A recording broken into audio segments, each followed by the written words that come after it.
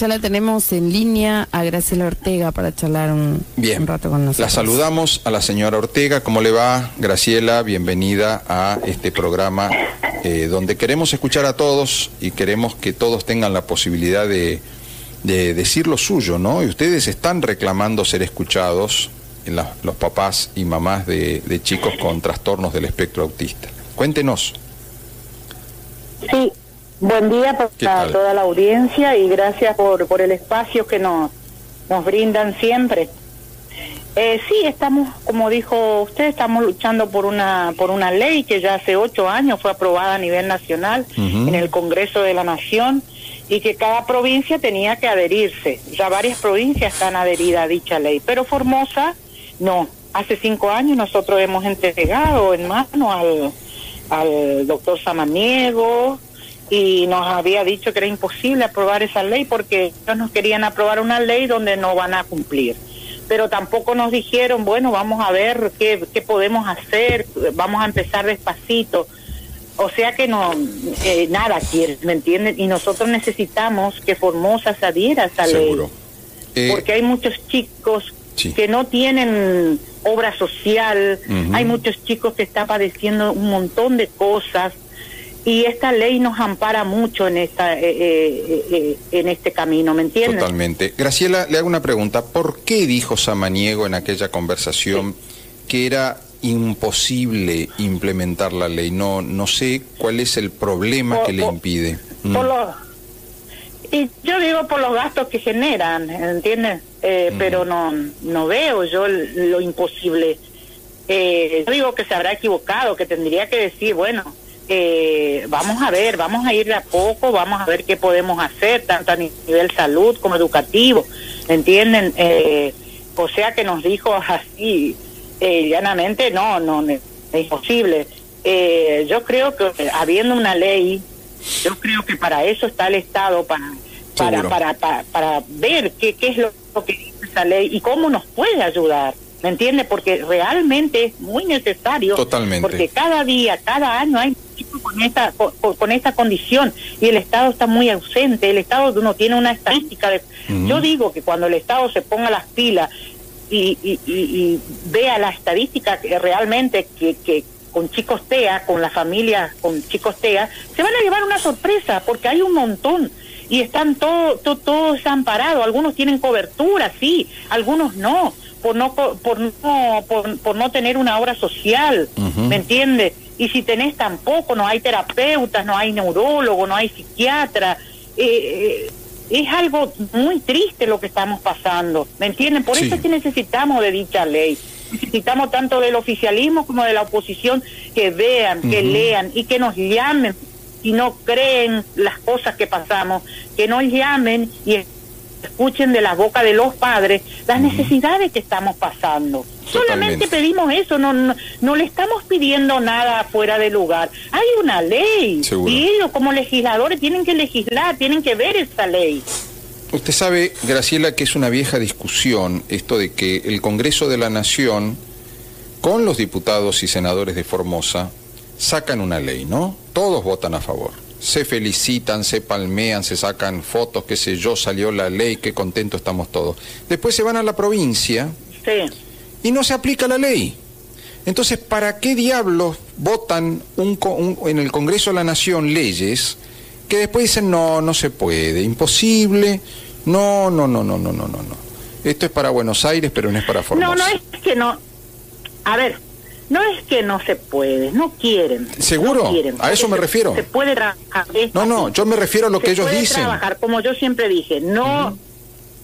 Bueno, eh, no, yo como les dije a todos, no pedimos que cumplan a rescatarle la ley, pero sí vamos despacito. Seguro. El tema salud estamos realmente desamparados. No tenemos psiquiatra, no tenemos neurólogo, no tenemos terapeutas.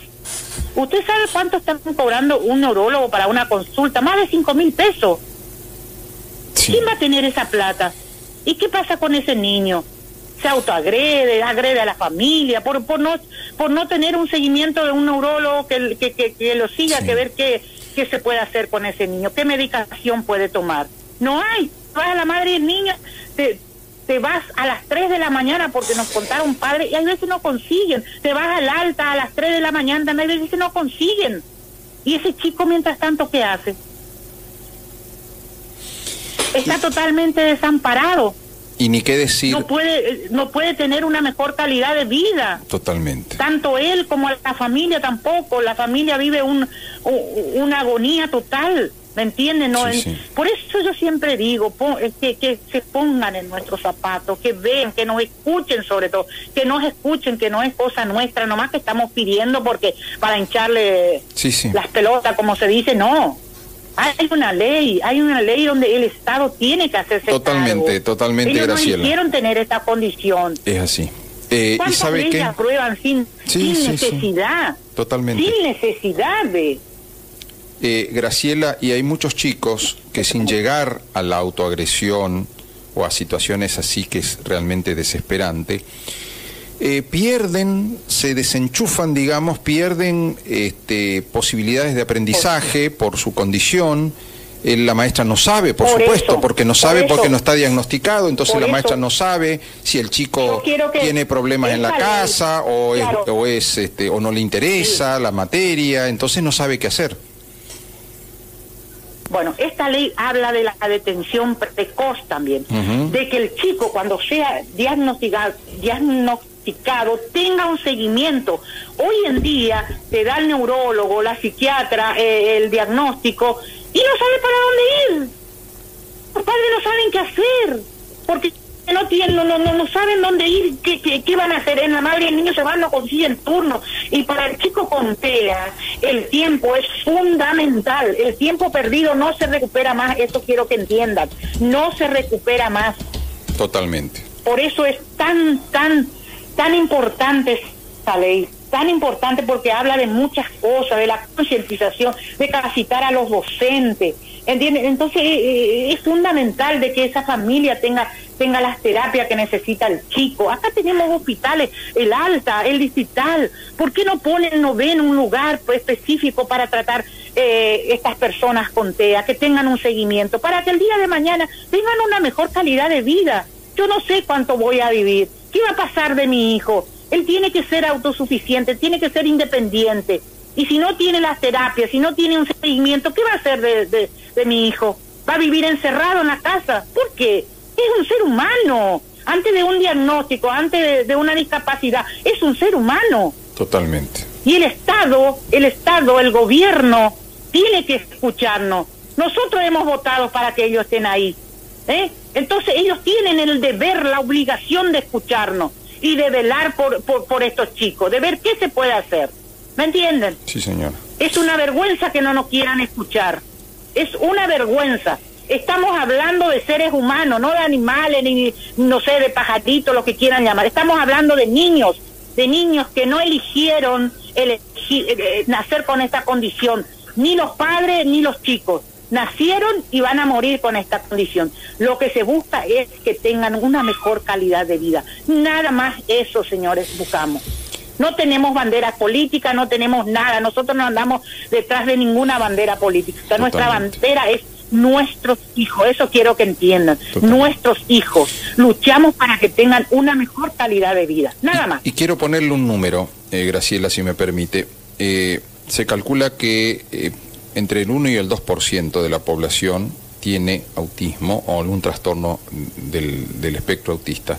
Estamos hablando en una población como la de Formosa, que somos 600.000, estamos hablando de 12.000 chicos que pueden tener autismo. Eh, el, y la gran...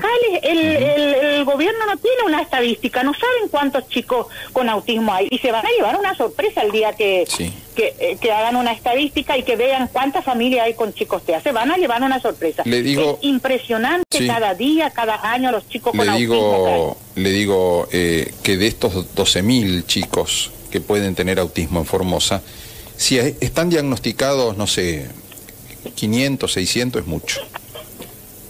Todos los demás, eh, los maestros no saben que tienen autismo. ¿Y el interior? Sí. Sí, el interior, usted no se imagina cuántas familias hay. Sí, sí. Con niños con, con Yo le digo porque tenemos familias que han tenido que venir para acá para que sus hijos tengan terapias, ¿me entienden? Y hay familias que no, que no pueden venir, que y no sé cómo se la arreglará en el interior y es, es peor todavía, ¿entienden?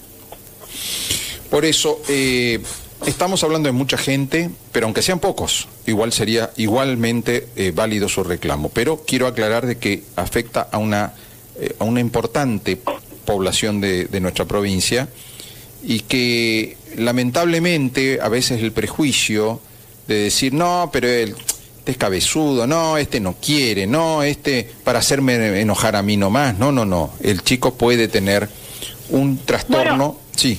¿Sabe que, que, que dicen que el, el oficialismo que dice que para ellos está todo cubierto? ¿Mm? Yo me ay, quiero que, no- por eso le digo que nos llamen y, y nos digan dónde está cubierto, porque tenemos un montón de padres que no, sus hijos no tienen terapia o, o tienen una terapia nomás, ¿me entiende? Es- A ver, Sí. ¿dónde está cubierto?